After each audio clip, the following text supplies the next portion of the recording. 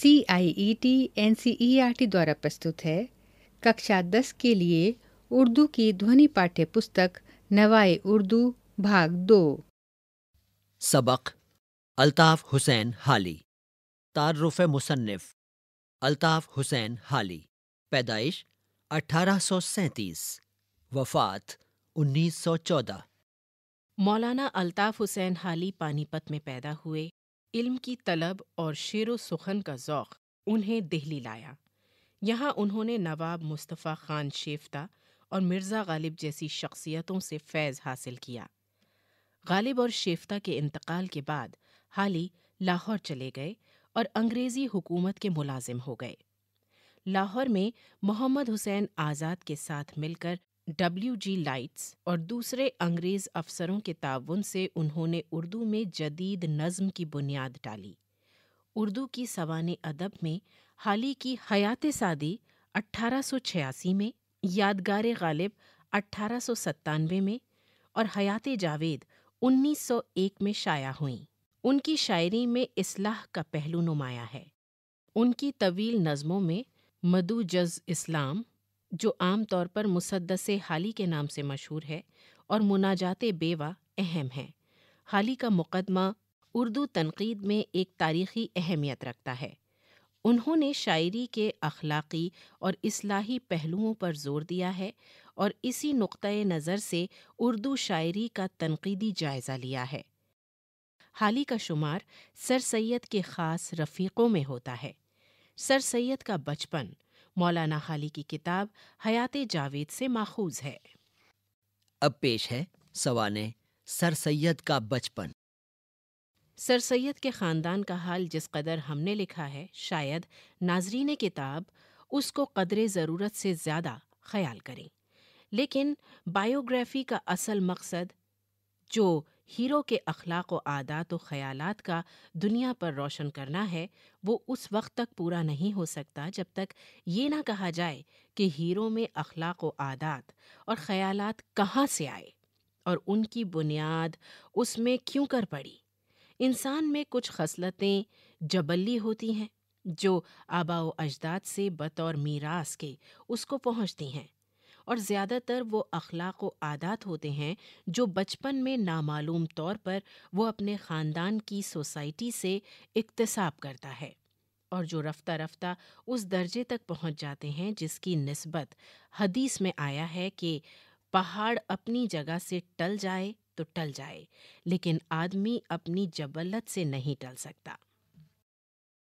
بس ہیرو کے خاندان کا حال جس میں وہ پیدا ہوا اور اس سوسائٹی کا حال جس میں اس نے نشو نما پائی، در حقیقت ہیرو کے اخلاق و عادات پر ایک ایسی روشنی ڈالتا ہے جس کے بعد کسی اور ثبوت کے پیش کرنے کی چنداں ضرورت باقی نہیں رہتی۔ سر سید کے پیدا ہونے سے پہلے ان کی بہن صفیت النساء اور ان کے بھائی سید محمد خان پیدا ہو چکے تھے۔ سید محمد خان کے پیدا ہونے کی ان کو بہت خوشی ہوئی۔ چند مہینے پہلے ان کے ماموں نواب زین العابدین خان کے یہاں ایک لڑکا پیدا ہوا تھا، جس کا نام حاتم علی خان رکھا تھا۔ سر سید کو اول حاتم علی خان کی والدہ نے دودھ پلایا اور پھر خود سر سید کی والدہ نے۔ وہ اپنے خاندان کے اکثر بچوں کی نسبت زیادہ قوی اور توانا اور ہاتھ پاؤں سے تندرست پیدا ہوئے تھے۔ سر سید کے بیان سے معلوم ہوتا تھا کہ ان کے بچپن میں جسمانی صحت اور فزیکل قابلیت کے سوا کوئی ایسی خصوصیت جس سے ان کے بچپن کو معمولی لڑکوں کے بچپن پر بے تکلف فوقیت دی جا سکے نہیں پائی جاتی تھی۔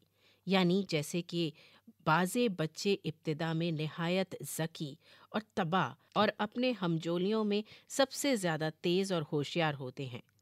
سر سید میں کوئی اس قسم کا سریح امتیاز نہ تھا۔ معلوم ہوتا ہے کہ انہوں نے اپنے قوائے ذہنیہ کو محض دماغی ریاضت اور لگاتار غور و فکر سے بتدریج ترقی دی تھی اور اسی لیے ان کی لائف کا آغاز معمولی آدمیوں کی زندگی سے کچھ زیادہ چمکدار معلوم نہیں ہوتا۔ لیکن جس قدر آگے بڑھتے جائیے، اسی قدر اس میں زیادہ عظمت پیدا ہوتی جاتی ہے۔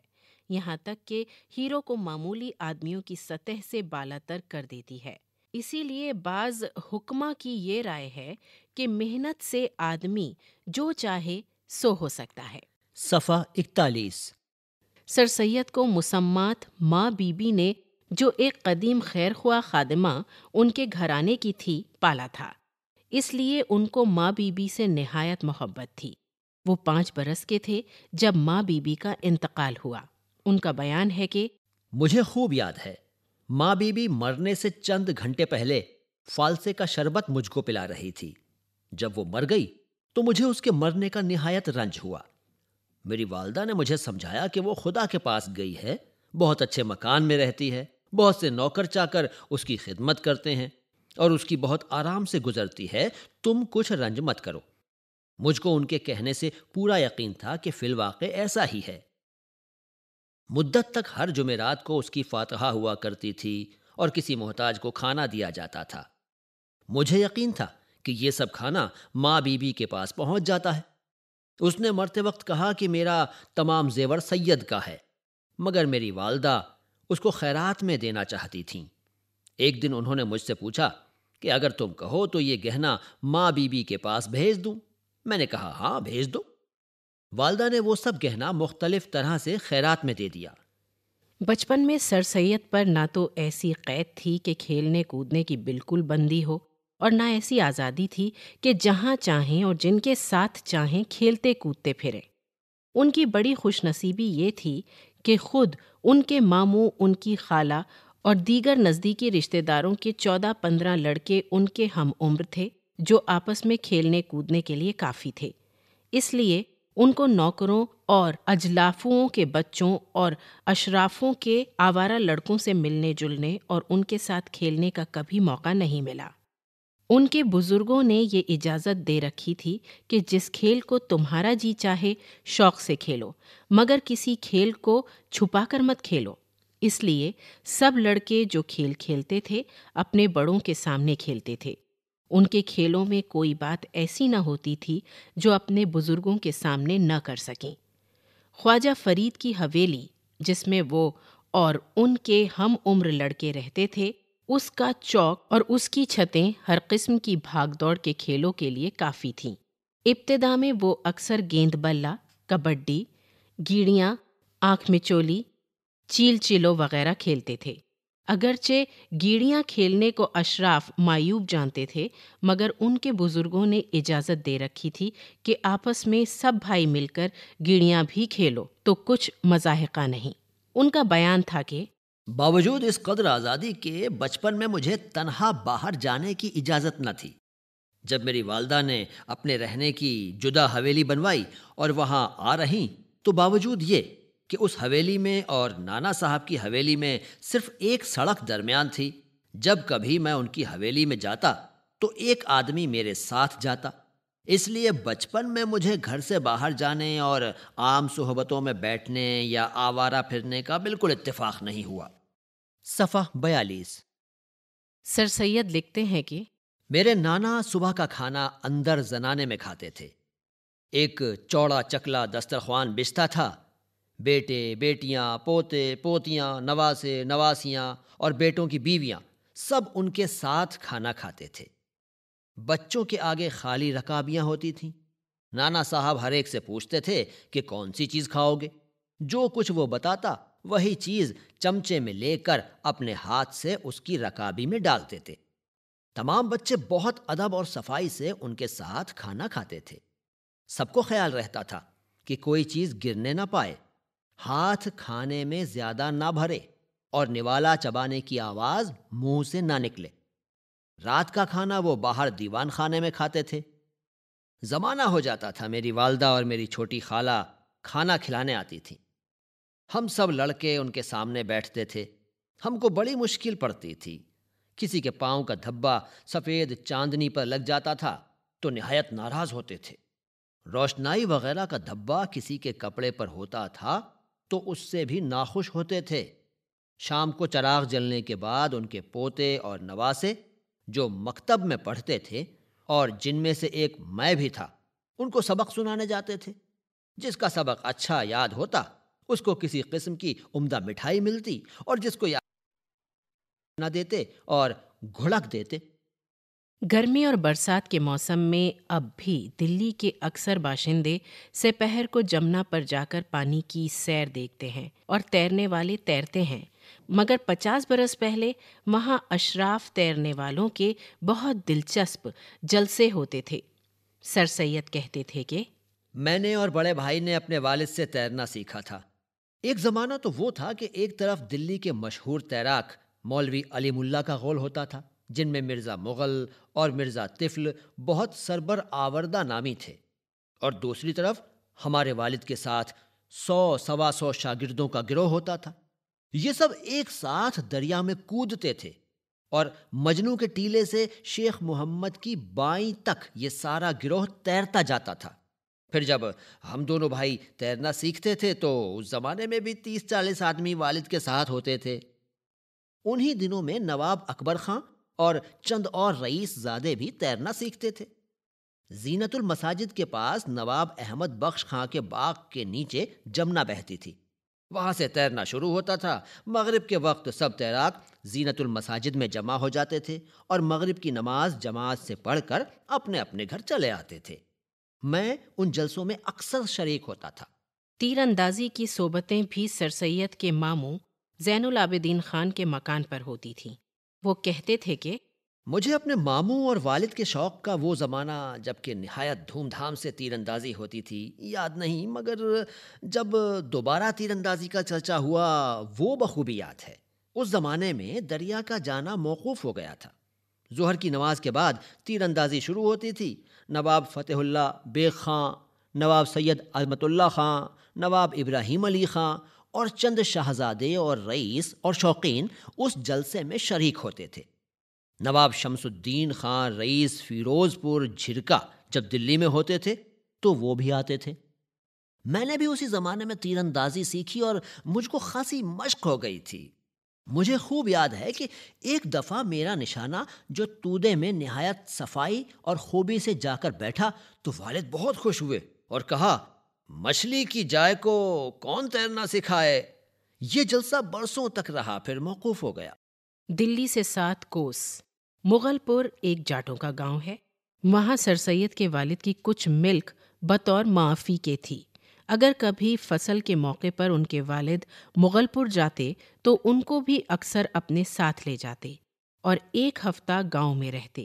سر سید کہتے تھے کہ اس عمر میں گاؤں میں جا کر رہنا، جنگل میں پھرنا، عمدہ دودھ اور دہی اور تازہ تازہ گھی اور جاٹنیوں کے ہاتھ کی پکی ہوئی باجرے یا مکئی کی روٹیاں کھانا نہایت ہی مزہ دیتا تھا۔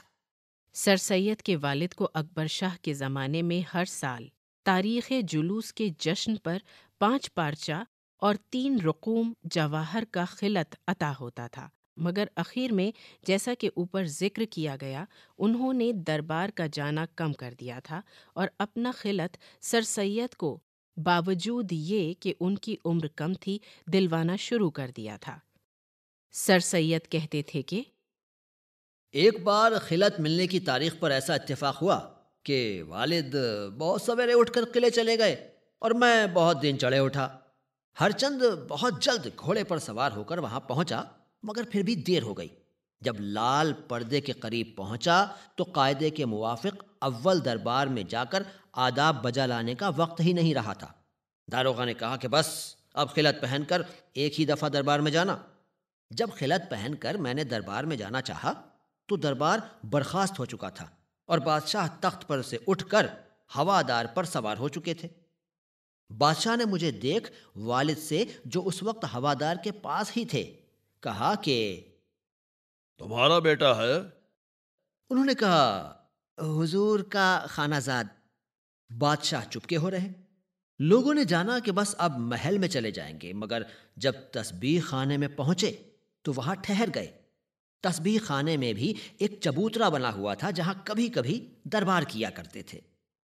اس چبوترے پر بیٹھ گئے۔ جواہر خانے کے داروغہ کو کشتی جواہر حاضر کرنے کا حکم ہوا۔ میں بھی وہاں پہنچ گیا تھا۔ بادشاہ نے مجھے اپنے سامنے بلایا اور کمال عنایت سے میرے دونوں ہاتھ پکڑ کر فرمایا کہ دیر کیوں کی؟ حاضرین نے کہا عرض کرو کہ تقسیر ہوئی مگر میں چپکا کھڑا رہا۔ جب حضور نے دوبارہ پوچھا تو میں نے عرض کیا کہ سو گیا تھا۔ بادشاہ مسکرائے اور فرمایا بہت سویرے اٹھا کرو۔ اور ہاتھ چھوڑ دیے۔ لوگوں نے کہا آداب بجا لاؤ۔ میں آداب بجا لایا۔ بادشاہ نے جواہرات کی معمولی رقمیں اپنے ہاتھ سے پہنائی۔ میں نے نظر دی اور بادشاہ اٹھ کر خاصی ڈیوڑی سے محل میں چلے گئے۔